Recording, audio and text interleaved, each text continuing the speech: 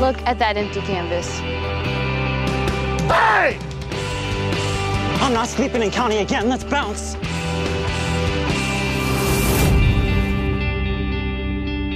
Jones. Faith Jones. You lost? Nope.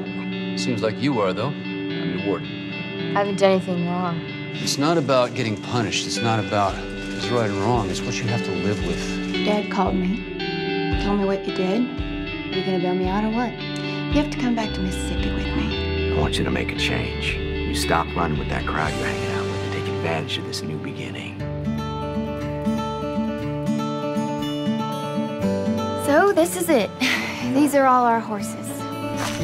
Oh! We're gonna need to get you dressed for the part. I am Corey. Mom talks so much about you, I feel like I kind of already know you. I'll help you out, show you how to do everything, and you'll be just fine. You really like him, don't you? You're gonna have to come back with me now. You can't stay here. Why? It's not like the ranch is going anywhere. And I turn 18 tomorrow, so it's my decision. I want to stay here, and I want me to do that for myself, for Mom, for Corey and Blake, for the horses. I'm 18, and I want to get to know me. I know that I haven't been the most reliable father, and I promise I'll work on it, okay? Thank you. Happy to make a difference. You've done a great job.